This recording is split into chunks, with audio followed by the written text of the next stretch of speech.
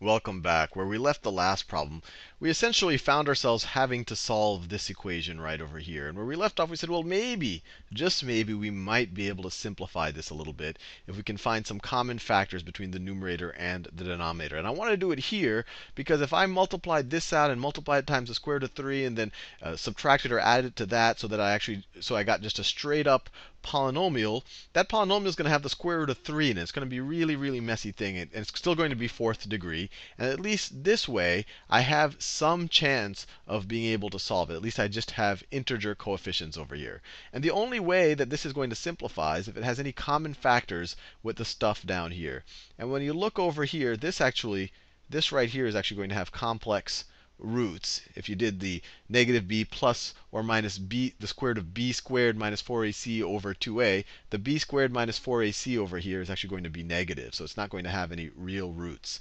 So that does not is not going to have any easy real roots, but this is the x squared plus 1 that has x plus 1 and x minus 1. Or another way to think about it is roots to this are negative 1 and positive 1. So if either of those are roots to this, then we're in business. And actually, there's a just looking at this, there's a decent chance because in general, uh, if you want to think about the roots of a of a well, really any nth degree polynomial, the roots, if you think about, it, let me just draw it over here. If I have a bunch of roots, x minus r1, x minus r2, x minus r3. And then let's say we have a fourth degree, x minus r4. So let's say we have four roots. When you multiply this whole thing, you're going to have x to the fourth plus blah, blah, blah, blah, blah, blah, blah, blah, blah, all the way. And then the last term over here, the last term over here is going to be r1, r2, r3, r4. It's going to be the product of all of these. And so if you want to put this equation right, or this expression in this form, you divide both sides by or divide the whole expression by 2. Or you can kind of say, well, let's just look at this thing and divide it by 2. And then you would have x to the fourth plus 2x, all of that plus 1 half. And so this thing would have to in this context be equal to 1 over 2. And a way, this is kind of a, it's not a, a fail-proof technique, but it is one way to kind of discover roots, is you say, OK, the roots could be the factors of this divided by the factors of that. And 1 is definitely a factor of both of those. And actually, if you think about it, negative 1 can be as well. So we feel good. But let's actually try it out. Instead of going through all of this argument, let's actually see if either 1 or negative 1 are factors of this thing up here. If they're not, then we just have to move ahead and multiply multiply this thing out, multiply it by square root of 3, and then just solve. But we can we can hope. Usually usually the test writers aren't that big status. Otherwise, it wouldn't be that it would be impossible to solve. So I, I'm feeling good about this. So let's just try it with 1. So if we try 1 here, so let's put 1 here and see if we get 0 over here. So if we get 2 times 1 to the fourth plus so let me just write that. So 2 times 1 to the fourth is just 2, plus 2 times 1 to the third is just 2, minus 3 times 1 squared is just 3, minus 2 plus 1. So this is 4 minus 5 plus 1. That indeed equals 0.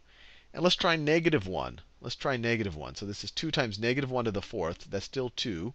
Plus 2 times negative 1 to the third. So that's negative 2. Minus 3 times negative 1 squared. That's negative 3. And then minus 2 times negative 1, so it's plus 2 plus 1. So this is 0, minus 3, plus 2 plus 1. This also cancels out. This also gets us 0. So we now know that both x plus 1 and x minus 1 are factors of this thing up here. Or another way to think about it is their product is a factor of this thing up here. x squared minus 1 is a factor of this. So if we were to divide x squared minus 1 into this, we should get a reasonable answer. We shouldn't get a remainder, I guess I should say. So let's do that. So we're going to get a little practice doing polynomial long division. So if we divide x squared minus 1 into, into this thing up here. 2x to the fourth plus 2x to the third minus 3x squared minus 2x plus 1. So this is good practice on polynomial long division. Highest degree term going into highest degree term. x squared goes into 2x to the fourth, 2x squared times. So let's put that in the 2x squared spot. 2x squared. 2x squared times x squared is 2x to the fourth. 2x squared times negative 1 is negative 2x squared. And now let's subtract this from up there. So let's or multiply it by negative 1 and then add it. And so this gives us, this gives us 2x to the third, negative 3 plus 2, so it's minus x squared, minus 2x plus 1. And then x squared goes into 2x to the third, 2x, 2x times. So this is plus 2x. 2x times x squared is 2x to the third. 2x times negative 1 is minus is negative 2x. And then we can subtract this from there, or you could say add the negatives. Let's just add the negative. It's easier to keep track of things. So those cancel out. You get negative x squared. These cancel out plus 1. x squared goes into negative x squared minus or negative 1 times. Negative 1 times x squared is negative x squared. Negative 1 times negative 1 is positive 1. And indeed, we get no remainder. So we can write this thing up here. We can write it as the product of this. So it is equal to, so this thing we can rewrite as 2x squared plus 2x minus 1 times x squared minus 1. So this times this is equal to this. So times x squared minus 1. So we just factored it. And so that simplifies things a good bit. It doesn't make it trivial, but it simplifies things a good bit. So now we can cancel that with that. And now at least we have things in second degree. We got rid of these third and fourth degree terms. So let's now rewrite things. So now let's multiply both sides of this equation by x squared plus x plus 1. So we're going to get the square root of 3. So let me just write it out. So I'm going to get the square root of 3 times x squared plus the square root of 3 times x plus the square root of 3 times 1. So I just multiplied the left-hand side by this, what we have left in the denominator, is equal to is equal to what we have left in the numerator. Because if we multiply the right side by this, it obviously cancels out. So this is going to be equal to 2x squared plus 2x minus 1 minus 1. And now, if we want to, so let's now put this, now let's see what we can do here. Well, we can subtract we can subtract these from, we can subtract the stuff on the right side from the left hand side.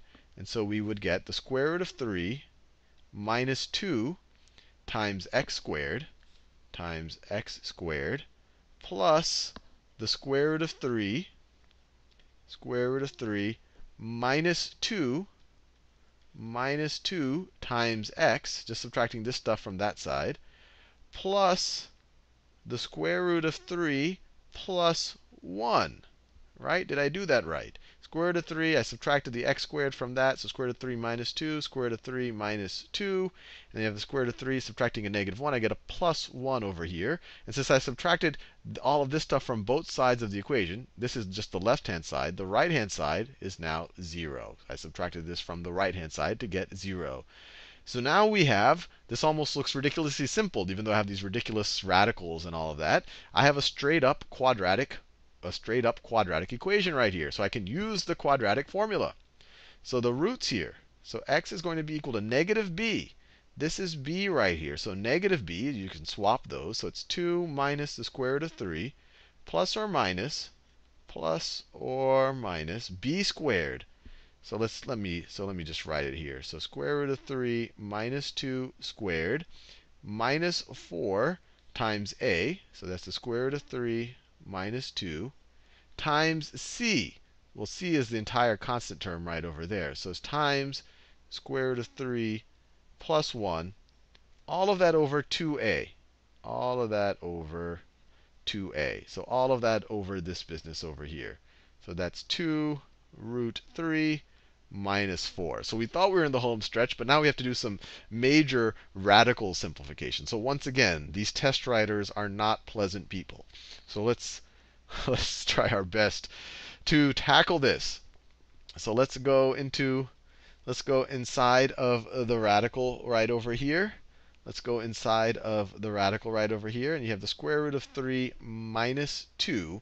Actually, you know what? I'm going to leave you there. I'm approaching 10 minutes. And frankly, I need a drink of water. This problem is maybe the most tiring problem I've ever done. I'll leave you there. We just have to simplify this in the next video.